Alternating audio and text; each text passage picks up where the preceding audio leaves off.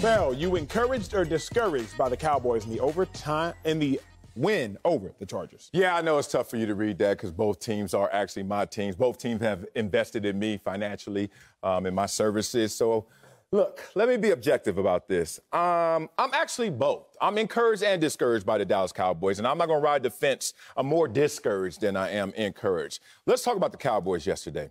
Um, Cowboys know that their formula for success is simple. We were just having that debate about Lamar Jackson and the way that they should approach the football game in terms of play concepts. Same thing for the Dallas Cowboys. Run the football, you guys win. The Cowboys won 11 straight games now when they're rushing for at least 175 yards. Now, 175 yards seems pretty daunting unless you have two running backs. Mm-hmm. And then it doesn't sound so daunting, does it? Ezekiel Elliott is, what do the kids call him now? Running back RB1. That's what they call it. Y'all so corny Friday Night Lights. Why y'all do this to me? Uh, RB1, right? And Pollard is RB2, I guess, right?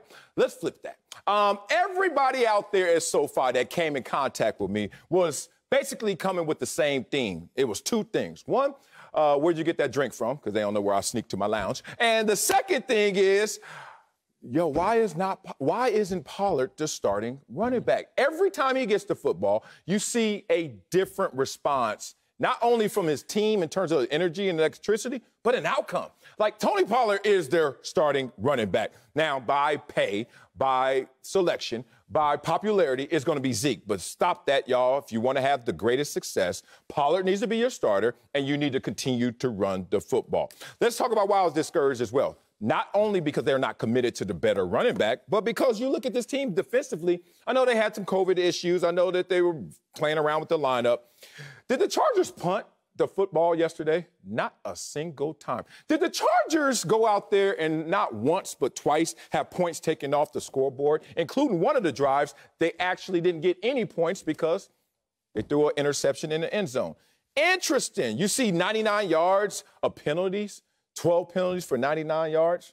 I'm starting to add all that up. I'm like, wow, Chargers really should have won the game. I'm looking at it like how good the Cowboys can be instead of how great the Chargers really are and just gave a game away. So a little more discouraged by the Cowboys in their efforts because it's not adding up. They don't have the commitment to the running game they should. They're not committed to the right running back in that same running game. Mm. And also, they played a team that gave them a game they took it handily with a 56 yard field goal at the end of the game. But the point being, if you're looking at the Cowboys, you got to squint to see some good things from yesterday. Ooh, nope. good take. Um, encouraged. Am I discouraged? I'm confused. I'm confused. a little bit. Sal. Let me start because I'm from Dallas. You play for the Cowboys. Let's show the Cowboys love. They're an NFL team that won a game. They won a game on the road. On the road. That's hard. Facts. That's hard, hard. As hard as can be. But now, Cowboys fans, let me give y'all, like Sale did, uh, some medicine. You might not necessarily like mm. it, but I promise it's going to be good for you. Mm. Cowboys fans noticed something. Mike McCarthy, clock management, once again, it was atrocious. Cowboys fans noticed something. Week one last year versus the Rams, Mike McCarthy, game management, atrocious. It came back to bite you later. Remember last year, 2017, y'all are down to the Rams, 11 yard line, fourth uh, quarter in the game. Y'all don't kick the field goal. Y'all lose by three. Cowboys, don't ever cross the 46 yard line again the rest of that game. Mike McCarthy, atrocious. Mm. Cowboys last year, just like this year, they beat a team early in the season. We didn't know how good or bad they were, Atlanta Falcons. But in winning, we overlooked some flaws that would cost you Cowboys fans later. Last year versus the Falcons, you run two fake punts, one of which you run in the four, first quarter when you're down 14 0 because your head coach freaked out. Dak Prescott, he fumbles on the sixth play of the game, takes a bad sack fumble, leads to the Falcons going up early. We overlooked these things because the Cowboys won. Hmm. I am not going to overlook them. I look at the game yesterday. Zeke, is probably getting too many touches, to Marcellus's point. Hmm. Pollard is the more explosive runner. I'm not yep. going to call him better, but he's a more explosive runner. Here's the other reason I'm discouraged. And I'm not going to toot my own horn as much as I'm going to say shame on the Cowboys. So, Micah Parsons, eight hurries yesterday, including a sack that was huge. Chargers were about to go score. Uh, touchdown. Parsons, 18 yard sack on Herbert. All of a sudden, they kick a field goal. Yeah. But I'm watching Cowboys play the Bucks week one, and I say, Micah Parsons is out of position in the first quarter. I tweeted by the second quarter. I say, man, Cowboys first round pick Micah Parsons is absolutely lost as defender in pass coverage. Then I go on to say they need to let him rush the rush on the ball more and put him in a position to succeed. Yeah. How did I know that? after watching a quarter and a half of football that Micah Parsons is best suited as a runner. Mm-hmm. But you, Dan Quinn, defensive coordinator, and Mike McCarthy, y'all didn't know that. Let me make this clear for y'all Cowboys fans.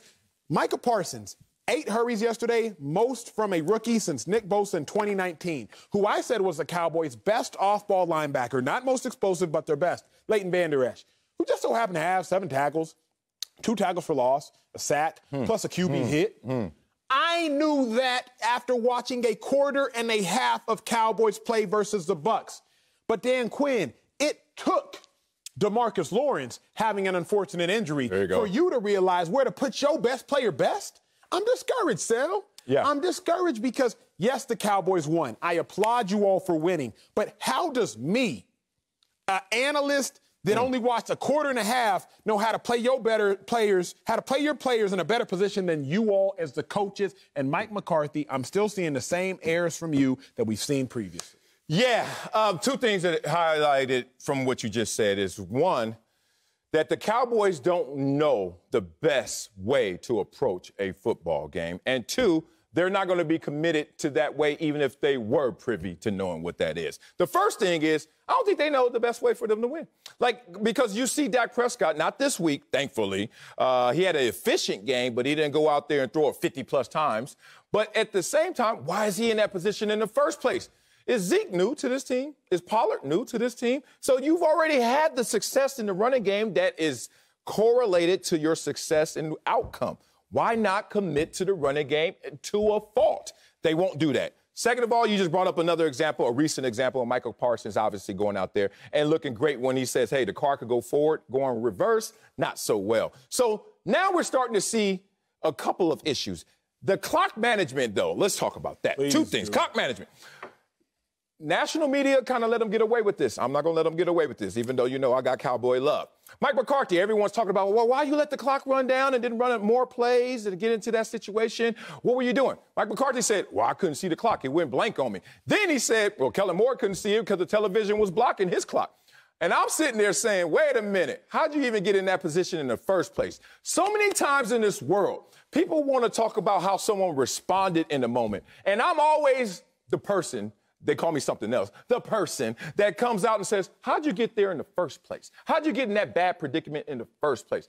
Why were the Cowboys running the football in that moment to get to the point where they now had to make a mm-hmm. decision on clock management? You should have been throwing the football in that situation or getting the ball out of bounds. I digress. Let's also talk about this.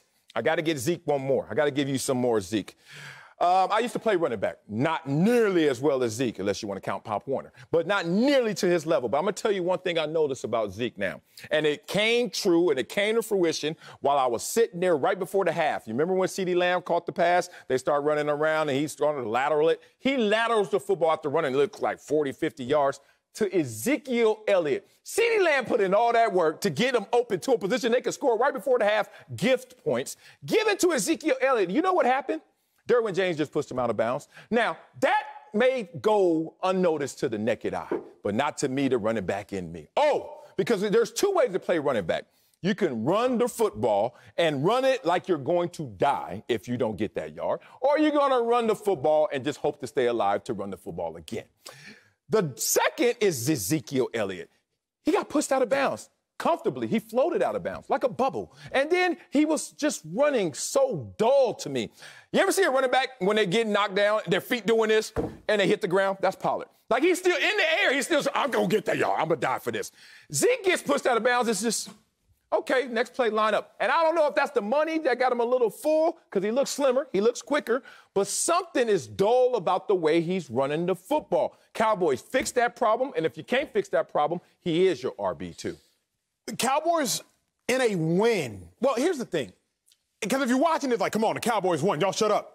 Y'all got to realize the great teams are great, the great athletes are great, the great coaches are great, the great anything at any anybody at anything they do is great because they don't just look at the win; they say, "How can we improve?" Mm-hmm, mm-hmm. You can easily look at the Cowboys win and say, "Okay, we don't care that Zeke's not as explosive as Pollard. Okay, we don't care that the Cowboys didn't pass for a touchdown. Okay, we don't care that the defense didn't always play great at times. No, no, no. Instead, we're looking at it and saying, wait a second now. Yeah.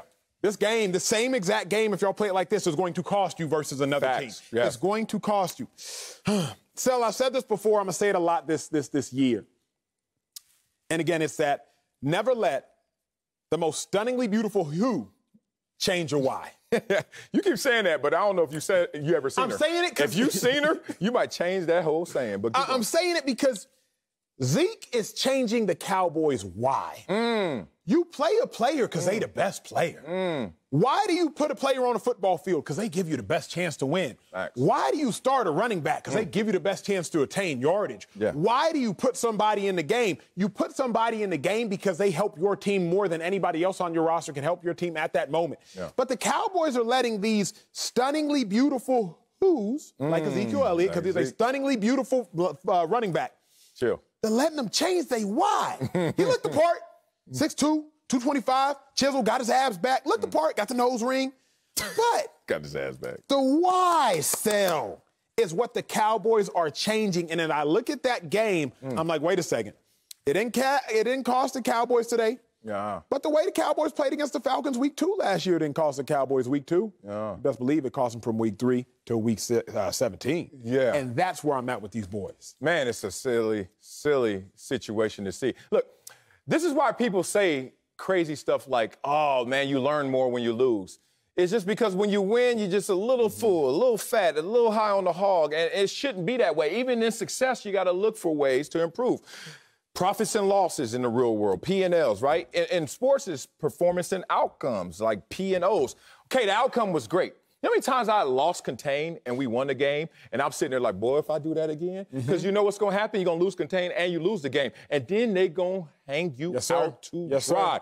This is a moment, Cowboy fans, you should be proud of. You went on the road, you won a game, but dang it, y'all keep doing this this way.